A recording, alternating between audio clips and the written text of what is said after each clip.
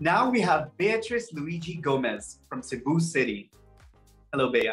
Hello, everyone. Good afternoon. I'm Beatrice Luigi Gomez. I'm 26 years old and I'm from Cebu City. I love sports, and my favorite game is volleyball.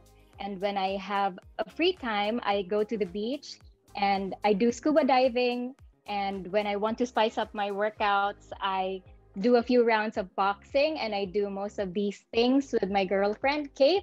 We've been together for six years, going seven in a few months. And in the height of the pandemic last year, we adopted a Pusang Pinoy and we named him after a chocolate bar. His name is Twix, and I'm very obsessed with my cat. Bea, if you had the opportunity to live for 200 years, would you do it? If I had the opportunity to live for 200 years, I would definitely do it. In just a few years' time, we, we try to crunch everything that we can to be able to do a lot of things and imagine the things that we can do if we live for 200 years. So I definitely will. Do you think that being a role model gives the people the right to know everything about your personal life?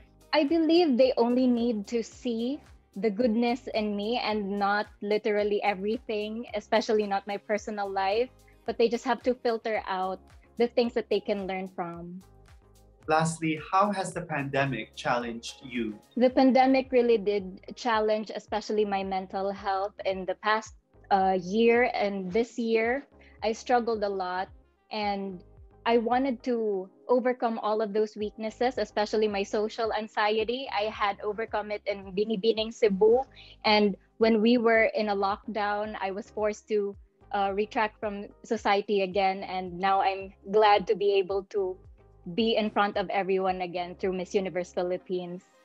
Thank you so much, Bea.